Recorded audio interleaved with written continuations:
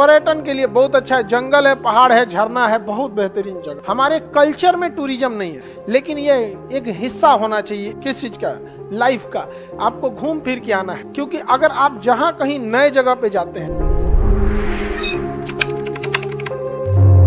और भारत का जो कल्चर है, उसमें टूरिज़्म को बहुत ज़्यादा तरजीह नहीं दिया गया है। हमारे कल्चर में टूरिज़्म नहीं है। हमारे आर्थिक स्थिति पे डिपेंड करता है हम घूमने जाएँगे कि नहीं। हमारे यहाँ टूरिज़्म का मतलब नानी के घर। ननिहाल घूम के आ जाओ, टूरिज़्म हो गया। अब लड़की सब जो होती है, नैहर। समझ में आ गया? नैहर? अरे, नानी का घर मतलब क्या? आपकी मम्मी जी का नैहर। समझ में आ गया कि नहीं आ गया? वो वहाँ घूम के चलेंगे। और उसके बाद आएँगी तो ये गृह युद्ध का लिए गृह युद्ध होगा जी? हाँ?